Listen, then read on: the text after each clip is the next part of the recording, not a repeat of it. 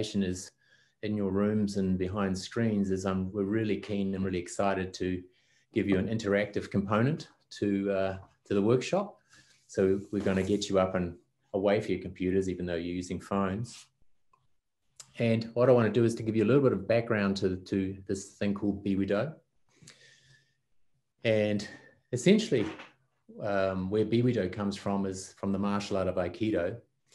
And what I did when I did the PhD was I combined uh, the martial art of Aikido or the Japanese martial art of Aikido leadership and co-creation and thought, if I crunch those together, what do I get?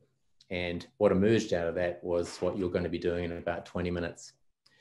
And what I, if I can summarize what I learned when I was training in Aikido for about five years, was that I learned that it just wasn't about techniques. And there's, there's a Shihan called Saotome, and he says, quote, when someone grabs your wrist, it does not signify the beginning of attack. It means the beginning of a conversation, end quote. And I thought that was quite interesting because everybody just thinks it's about throwing people around and Steven Seagal and something like that, but it's a li little bit more to it. The other thing that I found really interesting about doing Aikido, and perhaps the most inter interesting part for me personally was, is that the whole idea of Aikido is that you, what you learn on the mat, you take off the mat and other challenges you face in life. So you apply those philosophies or, or theories beyond the dojo and whatever you're doing, whether it be police work, education, psychology, and or in this case, um, design critiques. So what we're going to do today is nothing like this. Um, this is Aikido. So what I wanted to clarify up front was that Biwido is not Aikido. This is more what we're going to be doing. And what we do is I basically take one exercise that I learnt doing the martial art and we apply it to transform conversations using movement. So that's what we do. And so it's, uh, even though it's similar, like very different. So I felt like maybe one of the interesting things is, is to go back a little bit and think, well, why, why, why have a, why, why do I even consider this as an idea? And I think what's interesting is to consider how there are other types of arts-based communities of practice that also work together and create together using similar things to the martial arts of Aikido. So we can look at something like Taiko, which is another martial art, which is about drumming, Japanese drumming. And we look at that and what they do is it's about repeti repetitive, repetitive action involved in the, in the drumming itself, blurs the boundaries between the drum space and the person as well as providing the drummer with an expanded experience of their selves in relation to the whole. You know, and again, I'm looking at these and I'm showing those things and I'm trying to get you to kind of consider an experience like this or the way that they participate in an experience like this in relation to the idea of design critique. Another area or another type of practice um, that's arts-based that is also kind of exciting in relation to what I learned was dancing. And some of you may well be dancers. And we think about dancing, and we look at this sort of picture here, you can tell that the body or the moving body is a visual medium because it's seen by others, it can convey and represent ideas, and dancers use the stage, the props, and their bodies to perform and through things like gestures, touch, sound, and body movements. So they communicate through the body. They don't have to communicate through words um, so they use their bodies to communicate and to come up with ideas together. Oops. You know, very similar in a similar way, musicians are the same. You know, they they're individual musicians, but together they use their the music collaborates with the sound, the instrument and the performer work together, and as a group they co-create together.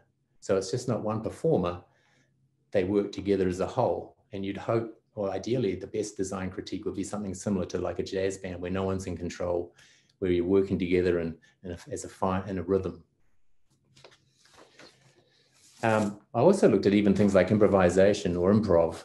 And when you look at it and you think about why is that useful for co-creation, um, you know, it's a really, it's probably the, I feel the closest one to Aikido because it's about making things up as we go along, or to think on one's feet, to be able to co-create in an instant to respond and adapt. And that's very much about kind of um, the martial arts and certainly jazz and all and, and dance. We all work together with other people to co-create together. And I think it's kind of useful to look at that and to consider how um, the arts give us models that perhaps we don't think about enough in relation to what we do as designers and illustrators and painters.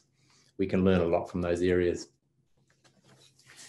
So a good way to summarize what you're going to be doing is that it's not a sitting down writing things on pieces of paper type of ex experience. There's no post-its.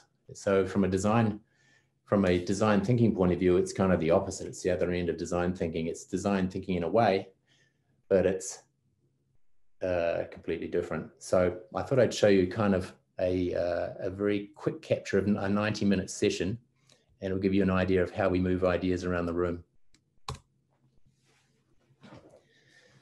So we start with a question, and then all of a sudden people pair up and they talk and use hand gestures and movements to move, literally move ideas around the room.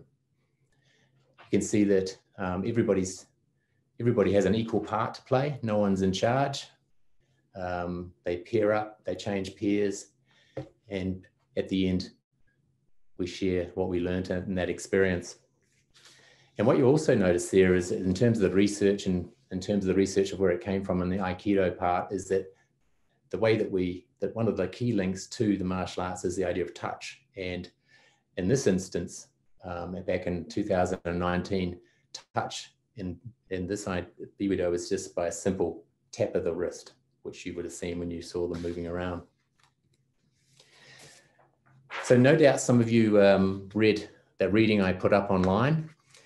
And what it does, it just gives you a really quick uh, sort of a, um, a description of how what you're about to experience works. Although in these days, in 2019, um, it was very much about a physical sort of an experience rather than the virtual one we've got today. But I think three quotes, I pulled out three quotes that I thought were kind of interesting in relation to what we experienced yesterday and also um, what we're about to do. So if you read those. the thing I like about it was, is it, it's the idea that the movement enriches the conversation. Am I moving the conversation or are you moving it? I'm pretty sure I was in that one. You probably are. Yeah, you're not the bald one. I know that. um, what I do find when you look at the picture like this, there's no one not talking. Um, so everybody is working 100% towards whatever the, the idea is of that session. So no one, conversations don't drift. Everybody's there and they're working 100% to get somewhere in terms of conversation. Here's one in Japan. And what was interesting about this is that quite often people say that when they undertake a Biwido experience, it's more about collaboration than confrontation. So which is really interesting in terms of the animated GIF exercise that we did yesterday and some of the ones you put up there where you I think there was somebody had a gun in their mouth. It was like they dread critiques. And this one, there's lots of laughter and it's kind of a, an enjoyable, fun experience. It's not about um, winning or losing. You were definitely there, Andre. Um, yep. The other thing that I think to end on those three quotes um, is that it's really important when I think about back to the martial art and kind of what you're about to experience is it's it's action beyond the self and in relation to other people. So when I'm working and collaborating with you and having a conversation, it's it's less about me, it's more about us. It's less about the ego. And in fact, it's kind of a good ego smasher. So you're forced to work with somebody instead of extract value out of them, which I think is kind of, again, when I think about design critiques, it's kind of rare. So when you read the reading, you would probably would have found pretty pretty easily that there were three key findings, and I won't go through through those. You can read them yourself. But one of the big points I make in the paper that I want people to consider um, is that one of the critiques I have of design thinking in a contemporary sense is it's very much a, uh, a cognitive sort of bias to it. It's very much about the brain. It's about sitting around tables and thinking a lot. And what I feel BWDO does well is that it um, it combines not only the mind but the body and the environment. If we could use all three of these things at the same time, like you did when you showed us around your flats and took us and showed us the uh, forest outside your bedrooms and stuff, you know, it just changes everything. It's um, instead of just looking at a screen, looking at some post-its, you know, I think it, it enriches it if we can bring all three of those spaces into the conversation and use those to co-create. So everything was going very well. And then COVID happened, as we all know, unfortunately.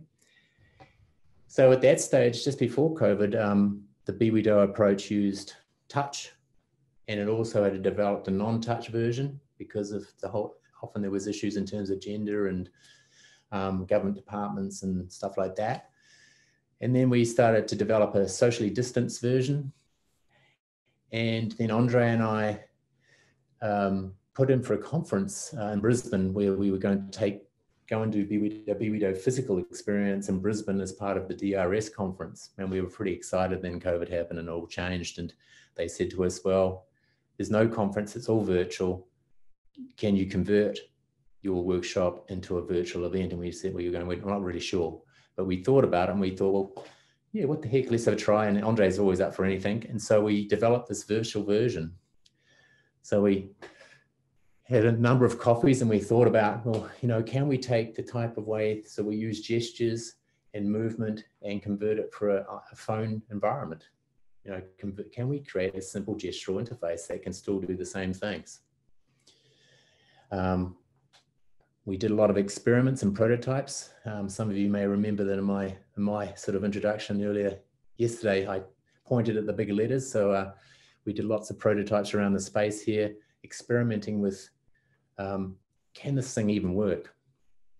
And then we did it. And so we, uh, we got a number of people um, to get involved. What you'll see on the person on the top left, these are five, four, four people involved in a conversation.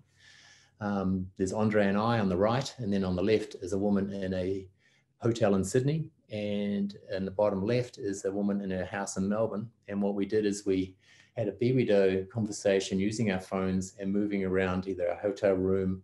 I was at work.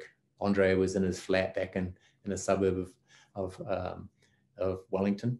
And we had a conversation interrogating a question for the conference by moving around our spaces and having a conversation. And it worked. It was kind of cool. And and this is one of the views we had from the phone as well. So uh, unfortunately, uh, Kushnud had um, some issues trying to get a rear vision thing happening on a phone, but it still still worked from the, that point of view. And one of the things that came out of it at the end was this lovely quote. It's always so wonderful to share a view versus just talking at somebody. Obviously, conversation can be more accessible that way, especially when we're, when we're across time and space, which is kind of rewarding the idea that um, um, there was more than just sitting at a sitting looking at a computer screen. There was something that we there was some value in actually getting up and moving around and talking. It, it kind of works. And so what we want to do is to pick up on um, kind of what you were doing automatically yesterday, really. Um, I took a few screen grabs, as you can see, as we were doing our intros yesterday. And uh, and we almost do it not quite naturally where we point at stuff and we indicate with by using gestures and hands and stuff like that um, to get people's attention or direct people's attention to something. And so it was happening yesterday. So I took a few examples, took a few screen grabs to show you that kind of what you did yesterday is almost kind of a little bit of a, a very heavy hint of what we're about to do now on our phones through Zoom. So I figure, are you up for trying this? I reckon we just do it. Should we just do it?